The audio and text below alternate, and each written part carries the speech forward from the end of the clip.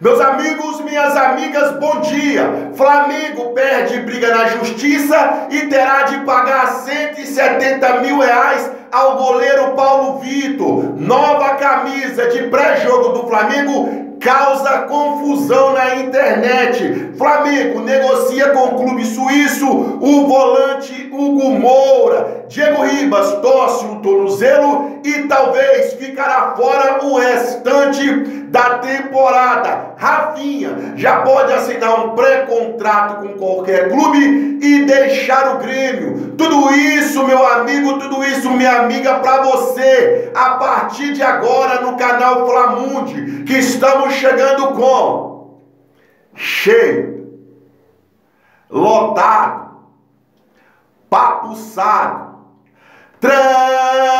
transbordando assim, ó de informação do nosso Megão. Mas antes, calma, peço a você que não é inscrito no canal, botão vermelho aí embaixo é escrito inscreva-se. Inscreva-se no canal, compartilhe esse vídeo, ative os sininhos das notificações e deixa o teu like.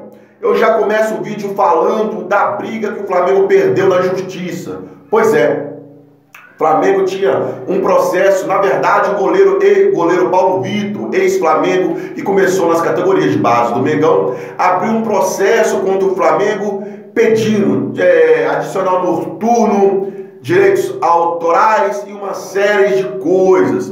O Flamengo perdeu na primeira instância, perdeu na segunda instância e ontem foi decretado, sexta-feira na verdade, foi decretado que o Flamengo pagasse ao goleiro Paulo Vitor 170 mil reais. O goleiro queria 600 mil, mas ambas as partes chegaram nesse acordo de 170 mil reais. Então o Flamengo terá de pagar a bagatela desse valor para o goleiro Paulo Vitor, que hoje é goleiro do Grêmio. Também vou falar agora, meus amigos, do, da camisa de pré-jogo do Flamengo.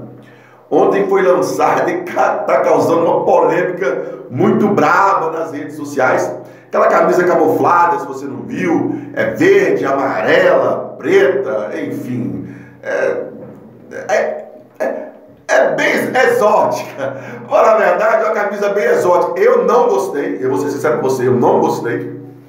E as redes sociais, uns amaram, outros odiaram, outros falaram que isso tem a ver com o Flamengo. Enfim, tá dando pano na manga nas redes sociais. Então, por isso, eu queria pedir a sua opinião. Você que está me vendo agora, diz aí, você gostou da camisa de pré-jogo do Flamengo? Você acha que o Flamengo deve adotar essa camisa o restante da temporada? Você acha que vai ser uma camisa que vai ter sucesso com a nação do Flamengo e vai vender muito? Comente aí que seus comentários são muito importantes para o nosso canal. Já que eu falei de Paulo Vitor, já que eu falei de Grêmio, vou falar agora de Rafinha. Pois é, Rafinha, ele que foi um pedido do técnico Renato Gaúcho, que hoje já não é mais treinador do Grêmio. O Grêmio anda de mal a pior. É o último colocado do Campeonato Brasileiro, caiu na pré-Libertadores. O Rafinha tem um salário enorme, exorbitante no Grêmio. O, assim, claro que ele tem a qualidade dele, o Grêmio não está perdendo por, por, conta dele. O treinador Thiago Nunes que está na beira de cair é, conta com o jogador, jogador titular.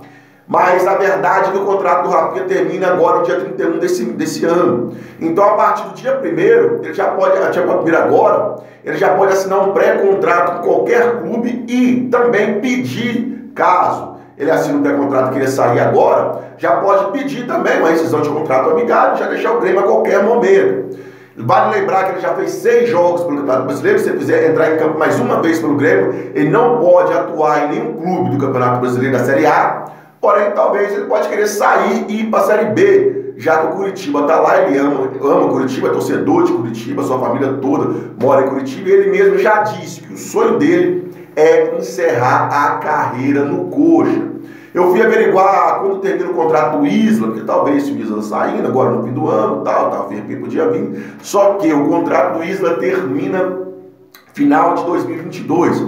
Então eu tenho quase certeza absoluta que o Flamengo não vai entrar nessa briga para contratar o lateral Rafinha, porque tem o Isla, tem o Rodinei E tem o Mateuzinho que tá comendo a bola. O moleque tá jogando muito, muito, mas muito mesmo. Ontem fez uma partidaça, não se abateu com o erro que teve no jogo contra o Juventude. E ontem fez uma partidaça.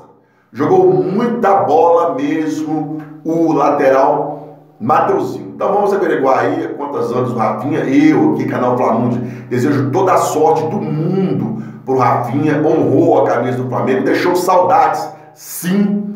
Então, assim, que o Rafinha tenha sucesso e muita sorte. Mudar de assunto agora, eu vou falar de Diego Ribas, que ontem ele foi substituído após ter recebido uma torção ali, foi uma torção, uma pancada, ainda não se sabe, no joelho direito. A verdade é que o jogador saiu de marca, fazendo cara de muitas dores, e o Diego Ribas não é um jogador mascarado, não é do feitio do jogador simular esses tipos de falta, esse tipo contusão. A verdade é que o Flamengo se representa hoje à tarde no Ninho do Urubu, e ele também juntamente será, se representar, se vai se apresentar e será avaliado pelos médicos do Flamengo para ver se foi só uma pancada, um trauma, se foi realmente um tosse e o nível dessa contusão.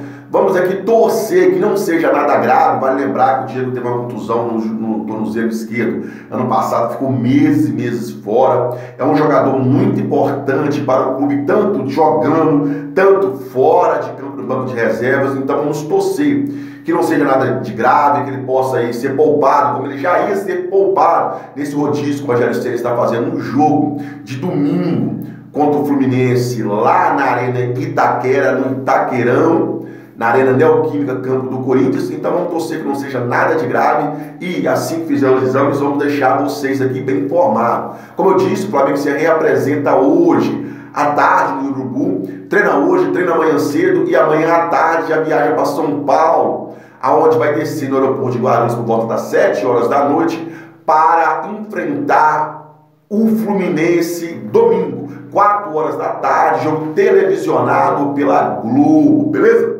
Agora vou falar, meus amigos, de uma coisa aqui que não é muito boa, né? É que, na verdade, Abel Braga.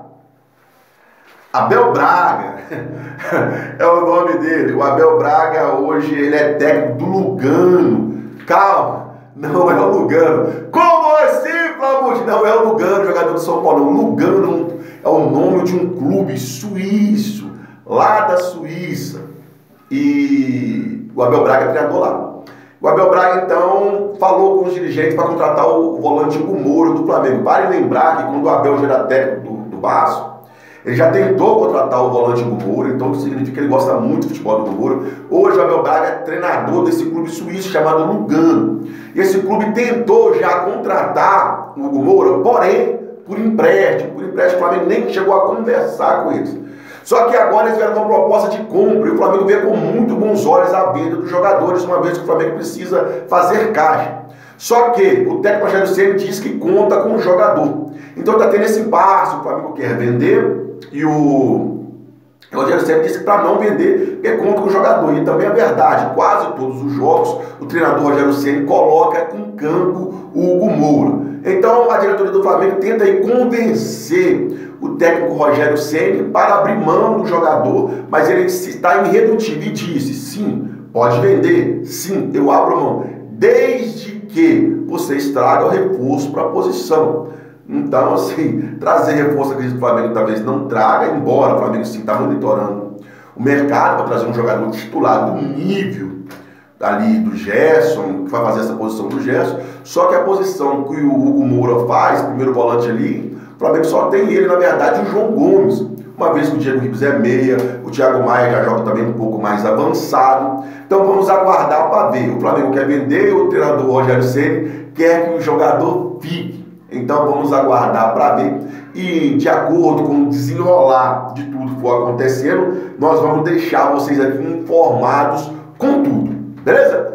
Meus amigos, minhas amigas, na manhã de sexta-feira foi isso. Lembrando a vocês que voltaremos a qualquer momento com o Plantão Flamude ou logo mais com um vídeo novo para o canal. Você que não é inscrito no canal, botão vermelho aí embaixo escrito inscreva-se. Inscreva-se no canal, compartilhe esse vídeo para um amigo, para um grupo, ative os sininhos das notificações, deixa teu like e não se esqueça do principal. Mengão é show, mas Deus